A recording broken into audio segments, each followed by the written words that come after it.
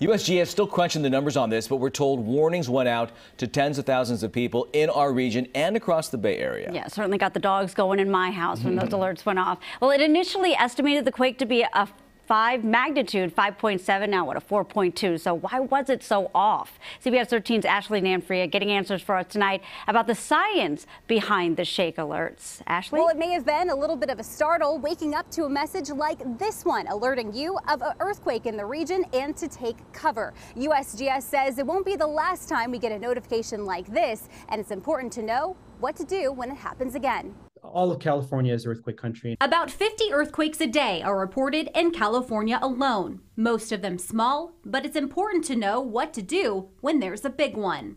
When time is an important thing, every second matters with earthquake early warning. And so we needed to get something moving as quickly as possible. And that's where Shake Alert comes in, created by USGS as an early earthquake alert tool to let you know to prepare. That we have stations that are out in the field that are constantly on the watch for ground shaking, for the earth moving.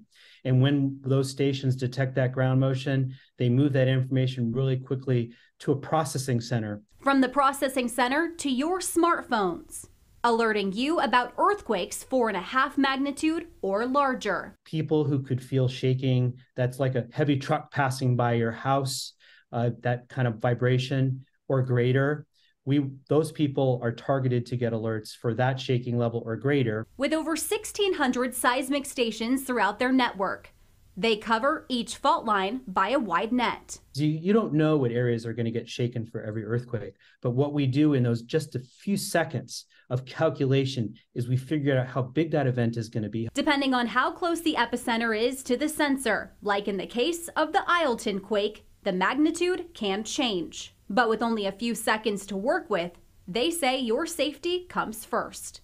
The Shake Alert system really has a delicate balance between speed and accuracy.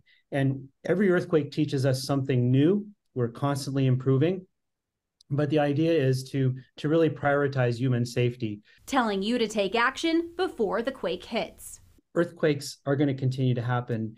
And it's just a matter of us becoming more prepared and adding these wonderful new tools like Shake Alert to to our toolbox.